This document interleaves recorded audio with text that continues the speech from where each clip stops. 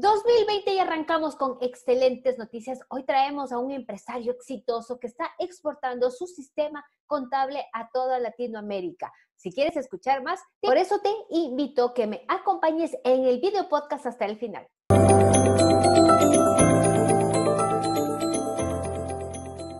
Vendedores en el mundo digital 337. Hola, hola, ¿qué tal? Nuevamente bienvenidos al podcast, al programa de Emprendedores en el Mundo Digital, el podcast en el que hablamos sobre el mundo del emprendimiento, ese apasionante marketing, las imprescindibles ventas para emprender y claro, cómo consolidarse entre ser un emprendedor que, vive y apasiona por lo que quiere hacer, por lo que le gusta, sirve a los demás y se consolida siendo un empresario. De eso se trata, de eso tratamos de... Em, traer al podcast contenido de valor, entrevistas como la esta que ya eh, les voy a presentar a un invitado muy, muy especial, pero claro, no sin antes eh, dedicar el podcast a todas aquellas personas que están trabajando en esa planificación que seguramente hicieron el año anterior y están arrancando con pie derecho el 2020. El mes de enero justamente sirve para organizar estas, eh, estos objetivos a corto y mediano plazo y espero y deseándoles a todos que tengan un maravilloso 2020. En todo caso, ya saben, invitarles también a que visiten la academia de el Netflix de los emprendedores, como yo lo llamo, ya saben ustedes, porque en lugar de em, películas vamos a ver cursos, cursos online que te van a permitir como emprendedor dar esos primeros pasos, organizar bien tu vida, eh, crear tu propio sitio web, cómo lanzar campañas de Facebook, eh, si tienes una tienda, por ejemplo, cómo crear tu ficha de negocios en Google, cómo crear un podcast como este. Bueno, en fin, tienes muchísimo material que eh, por una suscripción mensual de 10 dólares puedes acceder a todos ellos sin ninguna restricción y igual sin ataduras puedes salirte cuando desees, que muy difícilmente te salgas porque vas a ver que cada día estamos sacando nuevo, eh, nuevos cursos, nuevos materiales que te, van a ayudar a, que te van a ayudar a nutrirte, a crecer y a minimizar un poco el riesgo con el tema de eh, capacitarte más para poder emprender. En todo caso, echarle un vistazo que está genial. Y ahora sí, vamos a empezar con la entrevista. Estoy realmente muy, muy contenta porque a Jorge he tenido la oportunidad de conocerle en años. Hemos, nos hemos mantenido ahí virtualmente un poco conectados, pero ya lo traje acá al, al video podcast. Así que, Jorge, hola, ¿cómo estás? Bienvenido. Gracias por aceptar la entrevista. Muchas gracias. Hola, Katia. Eh, realmente para mí es un honor y un gusto poder compartir contigo este podcast. Gracias por invitarme a tu academia. Realmente te he visto crecer en estos últimos años de forma espectacular. Y bueno, para quienes tenemos esa pasión por, por el marketing, por la tecnología, por todo eso, realmente eh, es muy emocionante estar aquí en esta entrevista.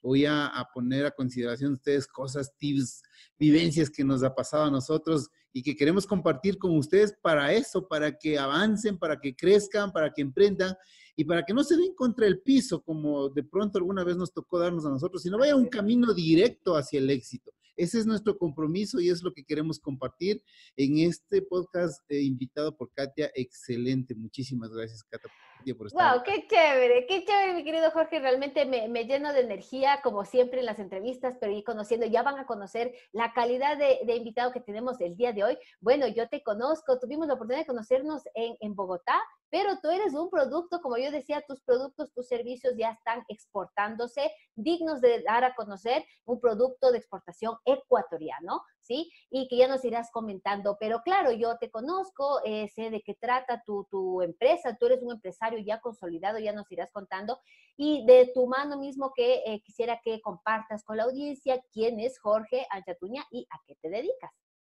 Listo. Bueno, mi nombre es Jorge Anchatuña, soy CEO del grupo Feniscore. ¿Por qué digo grupo Feniscore?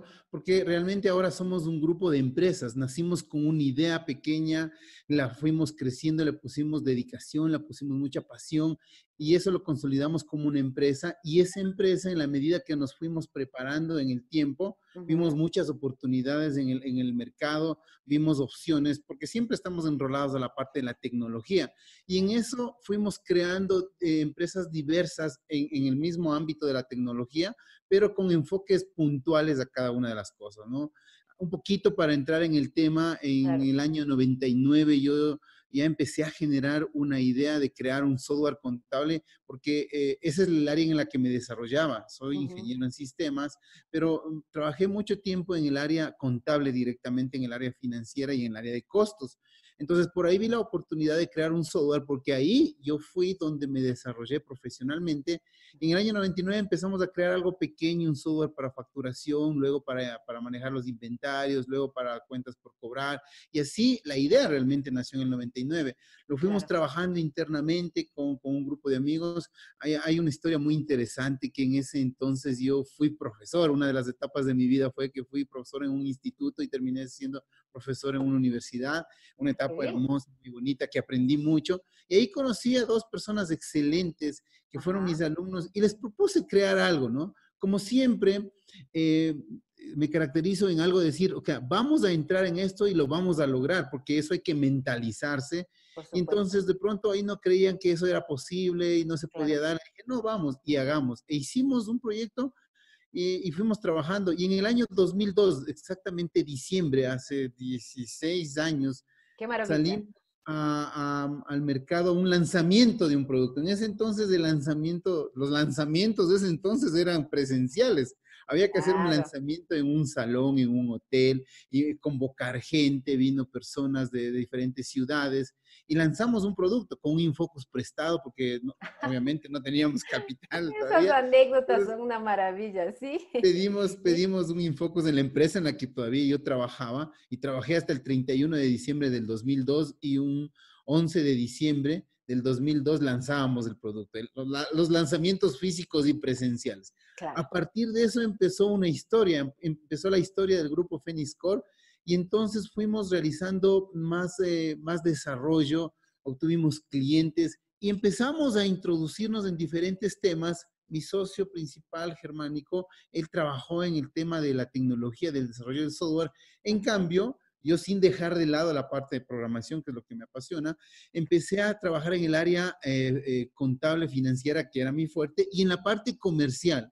Entonces ahí empezó todo este tema de aprender a vender, de aprender a comercializar, de aprender a llegar al cliente, de conocer al cliente. Y uno al inicio es temeroso totalmente, ¿no? Llegas al cliente así, pero pero muy tímido, así, como que te van a hacer un favor, como que tú llegas con algo convencido, sí, del producto, eso, pero no con todas el conocimiento, la, eh, la capacidad de poder llegar. La confianza, ¿no? Sobre todo esa confianza, ¿sí? Claro, claro, se entiende claramente. E, esas cosas fueron dando y, íbamos aprendiendo de a poquito, de a poquito, de a poquito. 2002, 2003, 2004 fue un año importantísimo para mí porque primero fuimos a otro mercado, eh, nuestra principal está en la ciudad de La Tacunga, y fuimos a Quito y en una expo compu de Quito presentamos nuestro producto.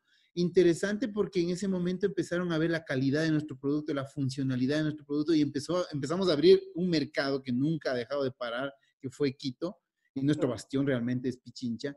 Entonces, ahí fuimos consolidando nuestros conocimientos en cuanto a lo comercial y, nuestro producto también posicionando la marca Fénix, que es una marca posicionada a nivel nacional como un el mejor software para el segmento pyme y micropyme. Entonces, en, en, ese entonces, en el 2004, se nos abrió el mercado en Quito, había cambios del SRI, ahí empezó el SRI a hacer todo su trabajo de lo que hoy día es el SRI, en, todo, en, toda esa cultura de... Tienes toda esa historia y sabes cómo... Sí, exacto.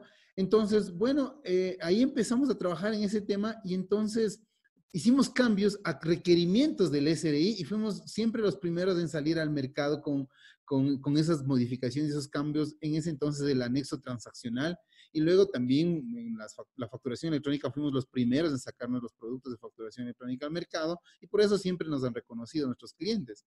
Claro, ha sido esa constante innovación. Ese ha sido un factor Tú y eso es lo que estoy viendo, ese engranaje de consolidar, asociarte con alguien que maneja este, la fortaleza también de programación, tú también manejabas, pero tú has, dicho algo importante, que es la comercialización, saber lanzar el producto, porque eh, a veces pasa que los emprendedores eh, tienen un excelente producto, pero no lo saben comunicar. no saben vender. Y romper ese miedo que tú has comentado, ¿no? Que al inicio estás como que chuta, parece que te van a, eh, vas a pedir un favor, tienes miedo, tienes recelo, pero vencer eso, que a todos nos pasa, después ya con la confianza, ¿no es cierto?, de, eh, de generar todo eso, esa constante innovación ya son algunos ingredientes que, ojo, atención del otro lado, deben tomar apuntes porque justamente es lo que tú dijiste al inicio, vamos a dar esos tips prácticos y estas son las, las cosas que han hecho que hasta ahora este, sigas creciendo esa constante innovación. Y, sigue, perdona que te, te interrumpí, pero es que sí, me... Para eso estamos para interactuar, Katia. Sí, precisamente. Eh, la innovación, el cambio, la creación de nuevas cosas, todo eso que siempre ha sido constante en nosotros, pues eso, eso es lo que nos dio apertura. Pero no solamente en el producto, ojo, ¿ah? no solamente en el producto, sino en el conocimiento comercial, de marketing, de, servicio al cliente, de postventa, eh, de asesoría, estar siempre en contacto con los clientes y, y, el saber uno cómo yo puedo ayudarle.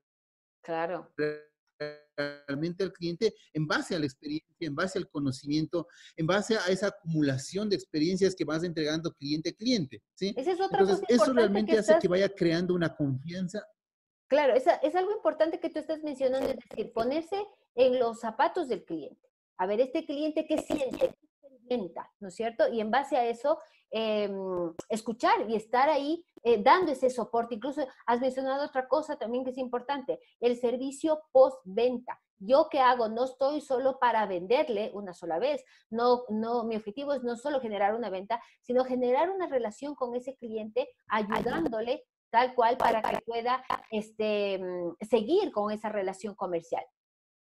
Sí, precisamente. Entonces, como te mencionaba, el asunto era poder estar en constante em, comunicación con, nuestros clientes. Y ellos necesitaban más eh, producto, más servicios, porque tenían ya la confianza en nosotros y eso fuimos haciendo. Y eh, eh, nuestro equipo también de la parte de implementación, nuestro equipo que estaba de, de, cara con el cliente, ir formando eso. Pero termino de contarte algo que me sucedió también muy interesante en el 2004, que, que, yo empecé ahí una maestría y, y esa maestría en gestión de empresas fue algo que consolidó todo el tema de conocimiento con experiencia, convivencia con los clientes y todo eso. Y a partir de eso sucedió que hicimos una planificación estratégica que ahora la vamos haciendo periodo a periodo. O sea, nuestra planificación estratégica siempre está hecha para tres o cinco años, dependiendo. Entonces la vamos modificando inclusive y, sabemos claro los objetivos, las metas de cada una de la empresa de forma global y de cada una de las personas que están a cargo de los departamentos ahora. O sea, tenemos un comité ejecutivo y le vamos empoderando a esa gente y le vamos transmitiendo lo que, como empresa queremos hacer. Entonces, ese, ese conocimiento adquirido y esa decisión de prepararnos en el año 2004 empezó a, dar sus, frutos. Empezamos a ver los cambios y todo eso. Y por ahí en el año 2008 fue un año espectacular para nosotros, un pico de crecimiento y no hemos parado. Siempre vamos ya en afluencia, afluencia, un crecimiento constante.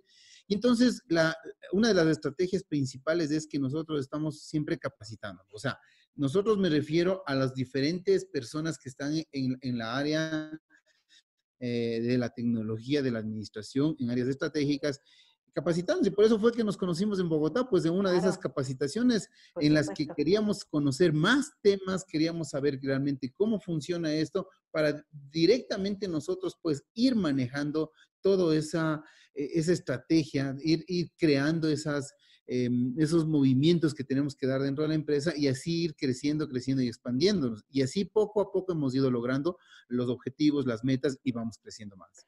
Felicitaciones, Jorge. Efectivamente, hay otra de las cosas que has mencionado y muy bien, vale, en el 2004, este, esta capacitación constante, la gestión de proyectos que ha hecho que tú planifiques ya organizadamente, está sumamente claro, tienes trazada la ruta, ¿no es cierto? Siempre van pequeños cambios, de pronto cosas que a veces al inicio, pues no todo lo planificado a veces sale 100%, a veces se superan las expectativas o se eh, sale de otra forma, pero la ruta está planteada y eso es muy importante, ¿no? El estar constantemente capacitándose y el, el manejar una planificación, el tener un equipo que está innovándose también en el tema de conocimiento, eso es importante. Ahora, tú me dijiste algo sobre un pico en el 2008 y tiene mucho, yo veo, así estoy viendo en, en, retrospectiva, eh, que en el 2004 comenzaste este tema de planificación. Muy seguramente este pico del 2008 que comentas fue producto de esa planificación organizada en el tiempo. ¿De qué trata este pico? Eh, lo que pasa es que veníamos creciendo, digamos, en una línea constante, ¿sí? Pero eh, en el 2008 fue un crecimiento mucho más eh, acelerado, sí, tuvimos un pico más alto, o sea, fuimos hacia, arriba en el tema de ventas, superamos el, tema de ventas a, un 100%, porque todas estas estrategias que íbamos armando y íbamos planificando y desarrollando, eh, fueron dando sus frutos y fuimos incorporando personal ya en áreas diferentes y abriendo nuevos mercados. Eh, ah, hicimos un modelo de negocio que empezamos en el 2004 precisamente, en que ese modelo de negocio nos permitió expandirnos a nivel nacional y por eso tenemos presencia en las principales ciudades como Quito, Guayaquil, Cuenca, Santo Domingo, eh, Ibarra y precisamente la Tacunga que maneja toda la parte central. Entonces, ese modelo de negocio que nosotros lo, fuimos em, eh, ya incorporando a la empresa, dio sus frutos en el 2008 porque de pronto ya teníamos todo el, Ecuador copado y, las ventas se habían disparado porque ya en cada uno de eh, esos lugares lo teníamos implementado el modelo de negocio. Entonces ahí creció. A partir de eso, de ese pico, hemos venido creciendo, pero ahí es donde fue un despunte, digamos, e, en nuestra empresa, ¿sí? Eh, claro, y eso... Todo lo que aprendimos, todas las cosas que fuimos realizando, ese fue el año importante del salto. ¿sí? Si bien es cierto, teníamos un crecimiento sostenido, pero ahí fue un salto importante y a partir de eso empezamos a generar las estrategias basadas en eso. Hay que, hay, que, hay que tomar en cuenta algo. O sea, si algo te, te, sale bien, si algo te funciona, no tienes por qué cambiar eso. O sea, no trates de modificar o cambiar eso. O sea, no, si algo está saliendo bien y funciona, no digo, ah, esto me salió bien, ahora voy a probar con este otro nuevo. Cuidado. O sea, a eso que te salió bien, a eso tienes que modificar, no modificarle, sino mejorarlo y sobre esa base ir creciendo. Sí, ok, por supuesto. Ahora, yo sé que ya te habías comentado que la entrevista nos va a quedar cortísima, pero quisiera un poquito que comentes estas bondades que tiene el, este, el software contable, incluso las innovaciones que has hecho en tecnología, eh, el tema de dispositivos móviles, en fin, todo este tipo de cosas como para que la gente entienda eh, todo ese servicio, ese producto, cómo em, lo has consolidado y cuáles son los beneficios que tiene el cliente eh, final de tu producto. Bueno, eh, importante, nosotros cuando nacimos, nacimos con un producto base y, eso es para los emprendedores algo que hay que, eh, recalcar y, mencionarles. No, no vayas a salir al mercado, no pienses salir al mercado con un producto con todas las bondades, con todas las capacidades, con todas las funcionalidades, cualquier producto que sea. Siempre hay que salir al mercado con un producto base. Mínimo viable, ¿no? Es lo y eso fue lo que sucedió nosotros, como te comento, en el año 99 empezamos con un producto pequeño. En el año, sí, en el 2002 nosotros ya lanzamos un producto que ya tenía incorporada la parte contable. En el 2004 ya era un producto más, más funcional. Y entonces, a partir de esa funcionalidad del producto, que ya lo conseguimos en, tiempo, empezamos ya a tener una cartera importantísima de clientes y, nos dimos cuenta que el cliente le gustaba la parte funcional del producto hasta el día de hoy. O sea, lo que le caracteriza, le caracteriza a nuestro producto es que es algo funcional, algo simple, rápido, intuitivo, que le permite aprender de forma fácil al cliente, manejarlo de forma fácil y entender cómo internamente esa información va fluyendo para obtener los resultados en el área contable hay una buena experiencia de usuario en todo caso. Hay una buena experiencia de usuario, que eso es lo que facilita, es intuitivo, como tú bien lo acabas de decir, intuitivo, fácil de manejar, que no hace falta saber ni fórmulas matemáticas para poder eh, manejar el, producto. Y esa es una de las claves también. Sí, precisamente eso es lo que nos dio a nosotros el, diferenciador más importante. Entonces, cuando ya teníamos todo esto y vimos que el cliente le gustaba eso, fuimos incorporando nuevas cosas, nuevas funcionalidades a eso que ya estaba bien. Entonces, bueno, en nuestro software es un software integrado que maneja toda la gestión de compras, de ventas, la gestión de tesorería, la gestión tributaria de nexos transaccionales, la parte contable, eh, hoy, por hoy toda la parte de facturación electrónica. Eh, entonces, en ese momento ya teníamos un producto base que es el core de nuestro producto, el core principal, que le gustaba a la gente, su funcionalidad, todo. Y entonces empezamos a trabajar en cosas diferentes. Ahora la, gente de pronto la tecnología más exigía nuevos cambios, nuevas cosas, y a, y a, todas las empresas y a las personas había que seguir empujando hacia allá. Es un trabajo que también el emprendedor tiene que tomar en cuenta. No es, no es necesario que nosotros eh, vayamos haciendo cambios que yo creo que debo hacerlo, sino lo que el mercado va pidiendo, las cosas que, se, que, que los clientes necesitan, esa, esa, facilidad que debo darle al cliente y dependiendo del segmento, eh, principalmente al que estoy enfocado, es al costo que el cliente puede acceder a nuestros productos y servicios. Nosotros principalmente estamos enfocados en el segmento pyme y micropyme, y es otro de los temas importantes. O sea, no trates de vender todo a todo mundo. A todo el mundo. Segmentar. Segmentar es importantísimo. Es importante. Nuestro software es para el segmento pyme, micropyme. Entonces, ese es el segmento del enfoque nuestro, y entonces hacia allá está dirigido. Y ahí sí fuimos evolucionando poco a poco hasta que, eh, bueno, eh, ya vimos la exigencia del mercado, la tecnología tiende a eso, el tema de la movilidad, y entonces hicimos pruebas, y, ese es otro tip importante para los emprendedores, que no empieces a invertirle donde tú crees que, es lo mejor, donde tú crees que va a funcionar, donde tú crees que, allá debo apuntarle. Empezamos a investigar nosotros eh, el tema de, mm, de cuáles eran las tecnologías hacia dónde apuntaba y fuimos invirtiendo y veíamos en nuestro caso en algo que, invertimos que no era por ahí el camino. Entonces dijimos, no, no, no, esta tecnología, que, en este caso una parte de, personas que se quedaron con eso dicen que es la última tecnología. No, nosotros vimos que por ahí no tendía, que por ahí no voy a tener escalabilidad, que por ahí no iba a tener crecimiento. Entonces decidimos a tiempo cambiar hacia otra tecnología y fuimos probando. Y hasta que al final,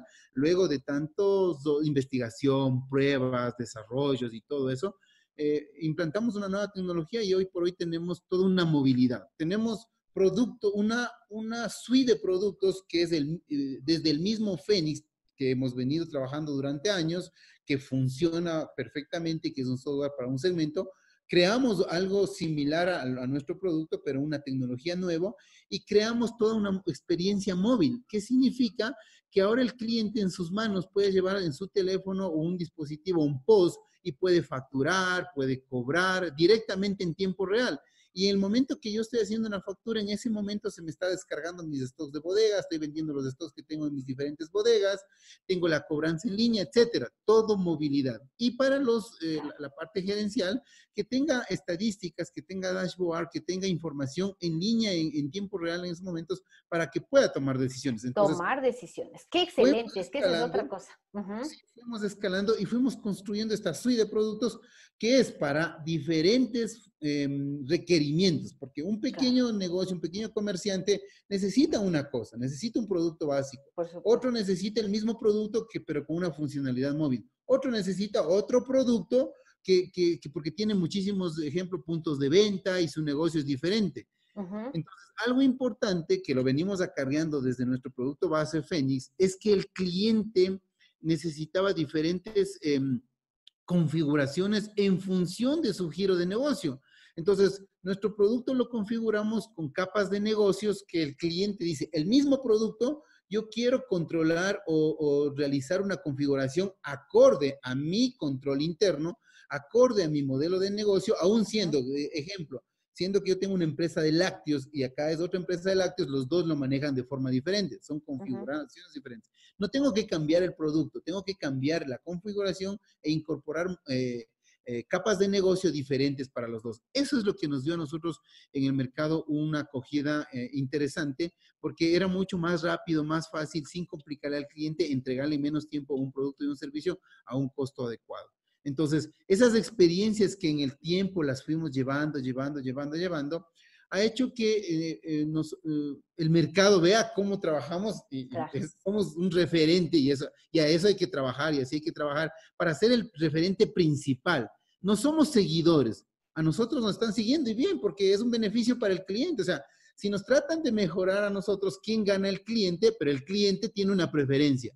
El cliente tiene la preferencia por quien tiene el conocimiento, el cliente tiene la preferencia por quien tiene la innovación, por quien es el creador, por quien, tiene ese conocimiento y por quien lidera el mercado. O sea, tú, tú quieres ser líder, tienes que ir con los líderes en. ¿no es cierto? O sea, yo soy, yo soy líder en el tema de marketing, tengo que estar pegado a los líderes de marketing, a los líderes de marketing nacionales, del exterior, de, de, Latinoamérica, etcétera, hacia allá. Entonces, los clientes quieren estar con los líderes y para eso tenemos que prepararnos. Qué buena cosa. Dentro de estrategia de, negocios y marketing digital, tú estarías en esta estrategia competitiva específica de liderazgo, liderar. Y qué bien, ¿no? Es decir, contagiarse, em, estar pegado de en el resto de sectores con los líderes para que justamente tú puedas este, nutrirte de todos estos, eh, de todos estos liderazgos en los diferentes campos y eso proyectar a tus clientes. Realmente eh, muy enriquecedor, este, Jorge, aprendimos mucho, mucho de esta experiencia, de esta larga experiencia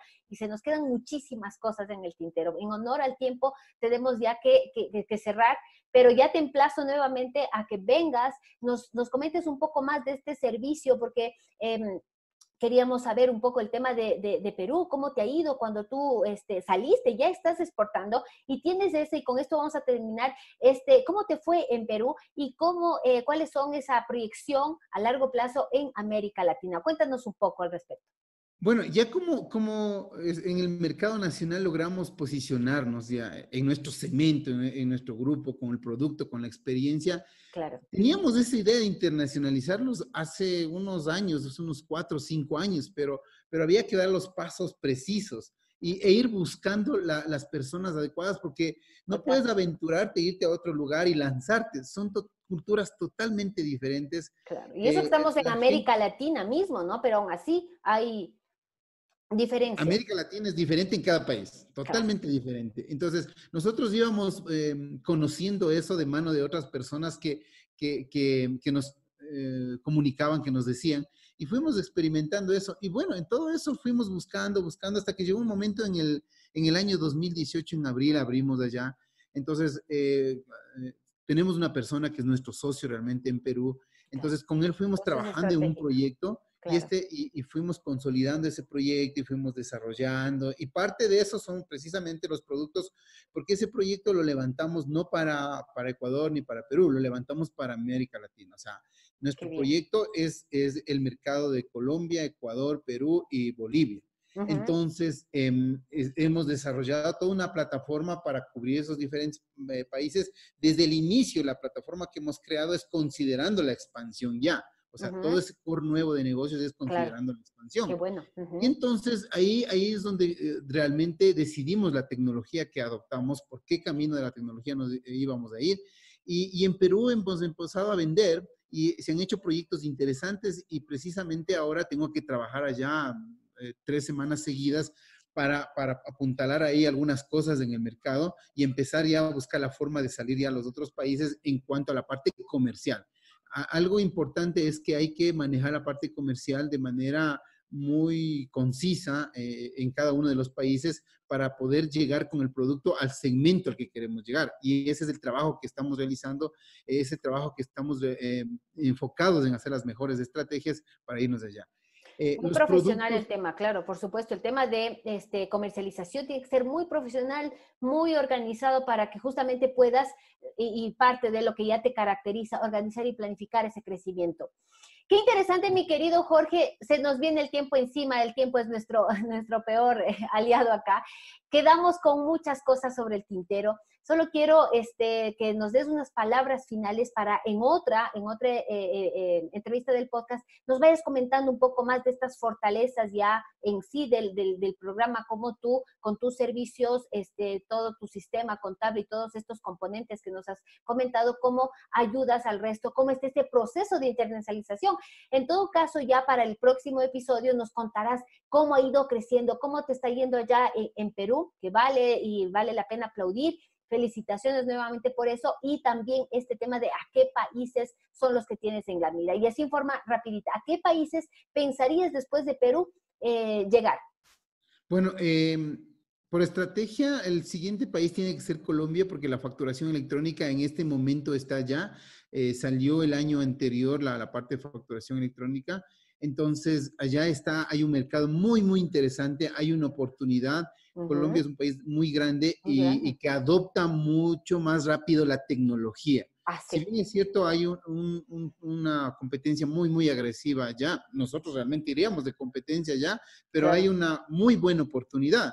Entonces, eh, bueno, tenemos toda la capacidad, el conocimiento, la experiencia y, todo eso vamos a juntar para aterrizar en, y desembarcar en Colombia. Ya es nuestro próximo destino y pues cuando estemos allá será interesante conversarle todas las experiencias de ustedes. Y, y Katy, encantado de estar contigo cuando gustes pues podemos conversar y, el objetivo es transmitirles esa experiencia a la gente que, que, tiene ese espíritu emprendedor, a la gente que quiere crecer, que quiere progresar. Y para eso estamos, ¿no? Para compartir toda esa experiencia y ese conocimiento. Sí, claro que sí, de eso se trata, mi querido Jorge. Y claro, has mencionado otro tip muy interesante y es hacer esta investigación de mercado. No podemos lanzarnos a otros países a ciegas, hacer estas alianzas estratégicas es otro de los temas que yo realzo de todo lo que nos has comentado. Todo ha sido valioso, pero siempre estos tips que se queden clavados en la mente de nuestra audiencia para que puedan enfocar. Y aquí el reto, que todo lo que hemos escuchado ahora de valioso en este sector, ustedes lo lleven a su sector, lo apliquen, sean, seamos este, constantes, eh, tengamos esa visión a largo plazo, pero planifiquemos, organicemos, revisemos la parte de ventas, revisemos la parte interna, cuál es ese core business de nuestro negocio y cómo eh, podemos ir creciendo justamente haciendo alianzas estratégicas, haciendo un buen análisis de mercado, de la competencia como tal, viendo cuáles son mis fortalezas, serían con lo que nos quedamos de esta valiosa entrevista. Mi querido Jorge, mil gracias a ti por tu valioso tiempo, por todas esas, esas energías que nos dejas ahí recargadas a, mil por ciento con todo tu conocimiento. Felicitándote nuevamente por este, este, mm, ¿qué diríamos? Este resultado de años de, constancia, de experiencia y que tenemos la dicha de decir, sí, de acá también podemos exportar, exportar software, no le eh, merecemos eh, nada, no somos diferentes ni menos que nadie, tenemos la oportunidad de crecer, no que porque estamos acá en Ecuador no podemos crecer, porque somos un país tercermundista, nada que ver, esto eh, no tiene que estar en nuestras mentes, más bien todo lo contrario. Y pues, bueno, palabras finales y em, redes sociales, tu sitio web sobre todo ¿dónde te pueden conseguir las personas? Bueno, eh, nosotros nos pueden encontrar en www.phoenixcorp.net, es nuestro sitio web. Eh, voy a encontrarme en Facebook como Jorge Anchetuña, ahí está mi página, y en Instagram también como Jorge Anchetuña. Realmente ahí es donde podemos compartir información importante. Pueden buscar la información en nuestra página web, hay blogs interesantes en cuanto a cómo llevar tu negocio, cómo gestionar, y ahí está todas las características de nuestro software. Por mi parte, gracias, Katy, por invitarme a este podcast. Estoy muy gustoso de poder compartir todo el conocimiento, toda la experiencia con ustedes y pues de esa manera hacer crecer a nuestro país, a nuestra ciudad, a nuestro barrio, a nuestra gente con quienes compartimos día a día todo nuestro trabajo y salir adelante juntos, que eso es lo que debemos hacer todos. Seguro que sí. Mil gracias a ti nuevamente, Jorge, y gracias también a la audiencia por escuchar el podcast en las diferentes plataformas de audio, en Spotify, en Google Podcast, en iVoox, en iTunes, también en el formato de video en YouTube. Ya saben, por suscribirse a los cursos y, como dice Jorge, a empoderarse. En este 2020 que sea lleno de retos y este, bendiciones, de que esos proyectos salgan a flote y de eso se. Así que nuevamente eh, nos despedimos y nos vemos el día de mañana otro episodio de podcast en un segmento de marketing y ventas. Un abrazo. Gracias, Jorge. Gracias, chao.